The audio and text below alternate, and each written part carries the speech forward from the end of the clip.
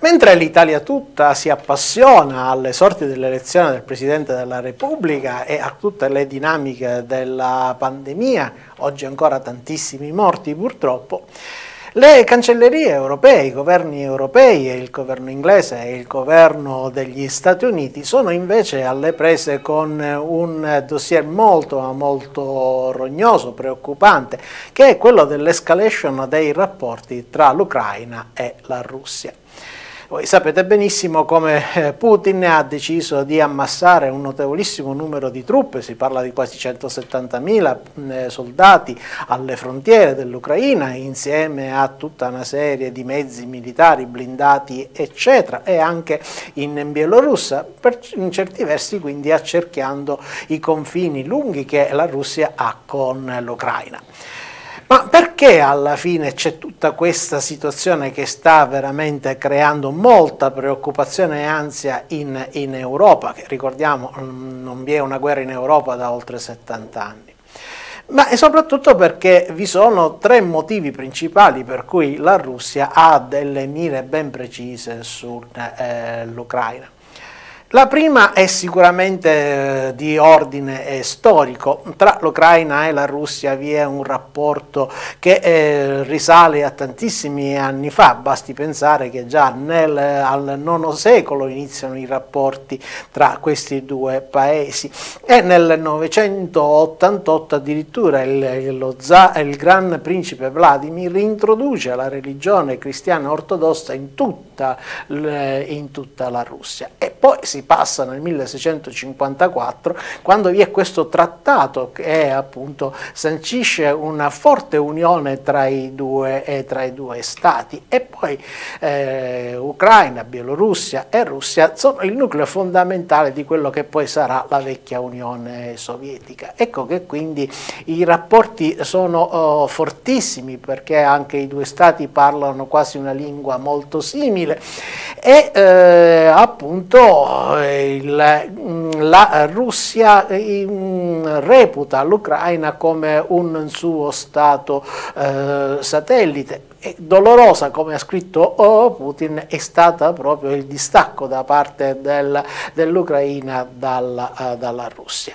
Il secondo motivo è molto più importante perché dal 1991 con il disfacimento della eh, vecchia Unione Sovietica ben 14 delle repubbliche che una volta eh, facevano parte del patto di Varsavia sono entrate invece a far parte dell'alleanza atlantica, dalla Nato, cambiando completamente lo scenario dell'est europeo. E quindi la Russia si sente accerchiata dall'alleanza atlantica e soprattutto eh, vuole evitare a tutti i costi che anche l'Ucraina appunto faccia eh, parte dei, um, più in avanti della, della Nato. Al momento l'Ucraina non può, non può, entrare nella Nato perché è in, in guerra e non si può appunto far parte dell'alleanza atlantica, non si può entrare nella Nato quando vi è un conflitto in, in corso corso. Ma poi vi è appunto un, uh, un, terzo motivo molto importante che è quello che eh, Putin, eh, sappiamo la sua idiosincrasia per quello che possono essere regimi democratici e per le rivoluzioni democratiche, perché eh, eh teme che eh, l'Ucraina, che appunto ha un governo filo occidentale, mh, mm, possa essere quella tarma, quella cosa che si introduce nel sistema eh, russo e lo fa, eh, fa saltare, quando Putin ha invece tutto eh, l'idea di ricreare un po' quella vecchia Unione Sovietica che era tanto forte negli anni passati. Ecco che quindi vi sono tutta una serie di motivi che fanno sì che Putin, che appunto come dicevamo all'inizio reputa molto doloroso il distacco dell'Ucraina dalla, dalla, Russia, vuole eh, ricreare una certa egemonia sul, su quel paese, perché quel paese nel 2014 ha defenestrato con una rivoluzione proprio democratica il vecchio governo filo, filo russo e anche nel 2019 nelle elezioni che si sono avute è stato eletto un premier che è molto filo occidentale, come filo occidentale è tutta la popolazione giovane di quello Stato che guarda all'Occidente, quindi al, all'Europa, come un possibile eh, sbocco per una crescita eh, futura, togliendosi da quel gioco molto pesante che invece Putin sta eh, attuando in, in Russia. Tutto questo gioco fa sì che appunto mm, Putin eh, ammassa frontiere eh, alle frontiere delle truppe della, eh, della Russia. Gli, eh, la Nato, seppur non facendo parte l'Ucraina ancora dell'Alleanza Atlantica, ha dato tutta una serie di armamenti, ha fornito armamenti. Biden ha messo in allerta 8500 uomini che eh, può mandare immediatamente nel, in, in, sul fronte e quindi l'escalation è notevole, già le cancellerie inglese e forse anche l'ambasciata americana hanno cominciato a ritirare tutto il personale dalle proprie ambasciate. E quindi vedete che l'escalation si fa sempre ogni giorno più pesante, ma alla fine effettivamente Putin ha interesse ad un attacco militare su, su vasta scala? Eh, questa è una bella domanda. Certamente l'uomo che vedete qui eh, rappresentato è uno che è avvezzo anche alle, ai blitz militari, lo ha fatto con l'annessione della Crimea, in Georgia, ha bombardato la Bielorussia, quindi non, non disdegna mai l'opzione, eh,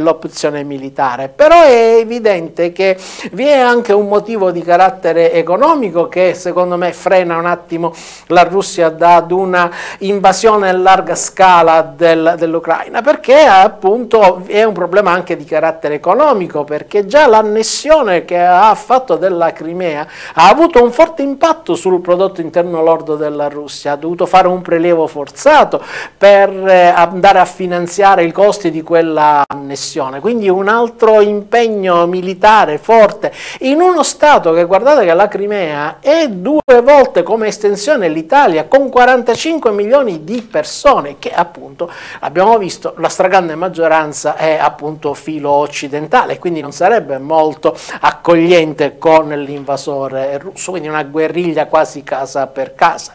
è molto più probabile che allora eh, Putin possa pensare ad un, dei piccoli interventi militari sulla frontiera per cercare di distaccare delle mh, mm, repubbliche che sono separatiste e che appunto a cui è già fornito per esempio mezzo milione di passaporti, eh, passaporti russi. Quindi uno scenario molto complesso che ha poi una ricaduta di carattere economico fortissimo tantissimo, proprio anche per l'Europa tutta, perché è bene ricordare che il 40% di tutta la fornitura di gas europeo arriva dalla, dalla Russia e passa proprio da quello Stato. E quindi è ovvio che se Putin uh, attaccasse l'Ucraina e eh, le, le, sanzioni di ritorsione da parte dell'Europa uh, fossero pesanti, ecco che le forniture di gas uh, verrebbero chiuse con uno shock eh, quasi energetico di eh, immani proporzioni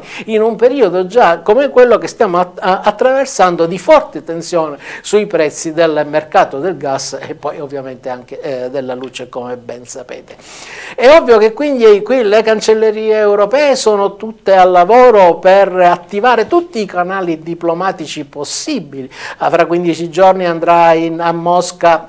il ministro degli esteri eh, inglese a parlare col suo omologo eh, russo. Già un primo incontro eh, da remoto si è avuto tra Biden e Putin dove non vi sono stati grandi passi in avanti, anche perché le richieste che ha fatto Putin a Biden sono ben precise, quelle di non fare eh, entrare nella Nato eh, l'Ucraina e soprattutto quella di